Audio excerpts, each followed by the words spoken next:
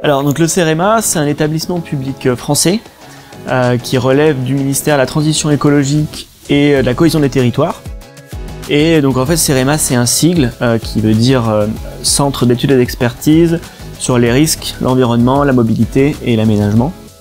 Ici, on se trouve euh, à l'agence de Clermont-Ferrand du CEREMA. Et cette agence dispose de quatre groupes. Donc on a le groupe eau et risque, le groupe infrastructure et ouvrages d'art, le groupe territoire et transition et euh, le groupe système de transport intelligent auquel, euh, auquel j'appartiens. CEREMA hat die entsprechenden Einrichtungen. Die haben einen Simulationstunnel. Es ist relativ lang, gute 30 Meter und 5 Meter breit und 2 Meter hoch. Man kann unter realen Bedingungen, zum Beispiel äh, mit fahrenden Autos, simulieren. Unseres Wissens nach gibt es in ganz Europa kein vergleichbares Labor, in dem man diese Messung machen kann.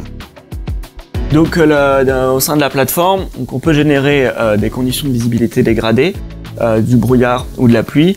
Et donc l'objectif c'est de, tester des capteurs, plutôt des capteurs de, véhicules autonomes, type lidar, caméra, radar, des différents types de caméras.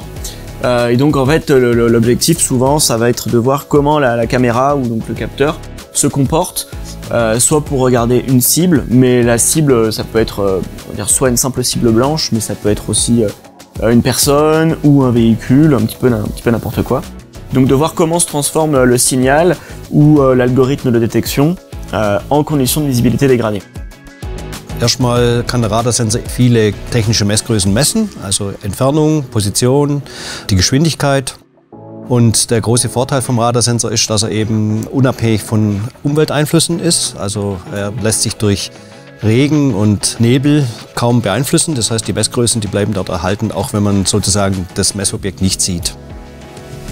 Wir wollten das aber mal bestätigt haben.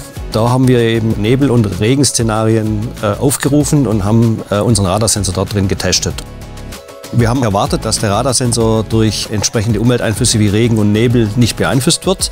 Das hat sich bestätigt. Eine kleine Abschwächung des Signals gibt es, wenn es Regenwände gibt, also starken Starkregen.